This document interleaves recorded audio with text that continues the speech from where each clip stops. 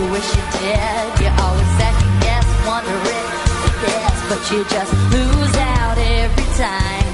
If you only knew what I talk about.